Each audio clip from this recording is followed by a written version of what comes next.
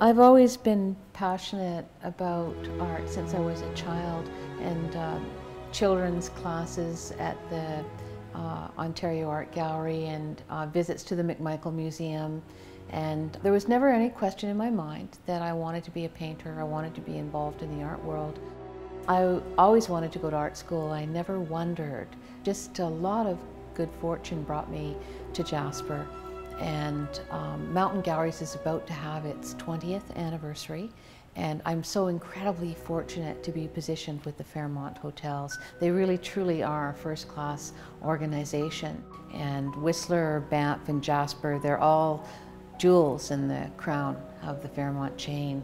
We like to think of ourselves as one gallery with three locations. And when we talk to people and they're interested in something, I always think about what's hanging on the walls in Banff and what do we have at Whistler. And we, we like our clients to be aware of the inventory that we control.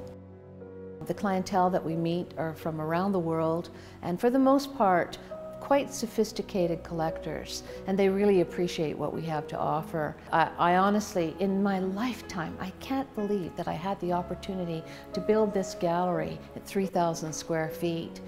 And when I attended the World Lighting Conference this spring in May, it really ignited my imagination and thankfully technology had gotten to the stage where I realized that we could actually go green.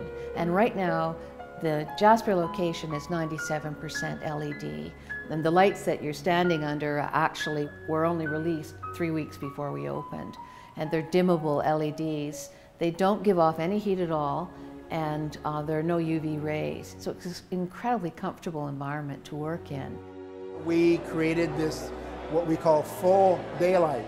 Because of LEDs, and especially these new breed of LEDs, we are able to do that. We'll be able to create the effect of daylight any time of day. And more importantly, rather than trying to use it any time of day, we actually are sequencing it with what really happens in the natural rhythm of daylight to evening. Therefore, that helps support this whole effect of daylight. We are in the business of selling memories, and um, most of the artists that we represent are mid-career or older. And when you walk into the gallery, you'll see things that you might have been on a hike or gone for a raft trip down the Athabasca River, or perhaps ridden the gondola, Sea to Sky at Whistler, and had a great view of the Black Tusk. And uh, you walk into the gallery and you see imagery that reminds you of the holiday that you're experiencing. One of the things we've done at Mountain Galleries in, in the Jasper location, we have the space to do it, is we've taken a whole corner and we've created a learning center. And we've got a library of Canadian art books, and we have uh, an easel and a watercolor station that we can drag out on rainy days to give classes. I've always thought that great art is when the physical marries with the intellectual, and that's really, really important to me.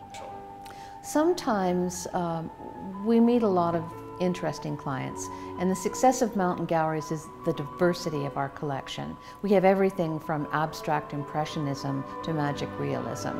And art is subjective and what one person absolutely loves another person doesn't even see. And quite often a client will come in and they know what they're looking for. And if they find an artist that they fall in love with, we're very good at organizing a commission that will suit them well. And we absolutely guarantee what we do. 70% of our collection is made by Western Canadian artists, artists who live and work in Alberta and British Columbia, and certainly they're all Canadian. I have a few favorite artists from the East Coast and a couple from Ontario that we represent. And of course, um, Doris McCarthy, who's became a, a, Canadian icon as a friend and mentor who I met when I was very young in Toronto and studying in the late 60s. And Doris has come out to Jasper and gone traveling with me in south of Banff and down into southern Alberta.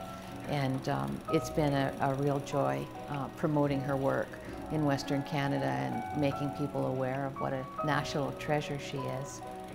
Fairmont has given us the opportunity to create a marvelous space to promote Canadian art to the world, and I'm really proud of that. Canadian art, being surrounded by beautiful pieces, um, every day coming to work is uh, just speaking to the people, our clients that come in. Their appreciation for art gives gives me inspiration. It's yeah, it's just a very creative environment.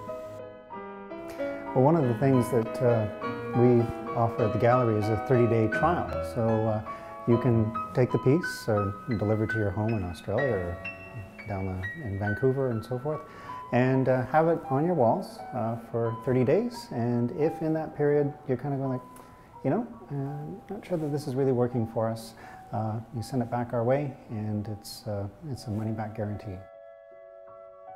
Our passion is promoting original works of Canadian art, and great art deserves to be seen properly. And I think we've created more than just a gallery, we've created an experience, and it'll be an experience they won't forget.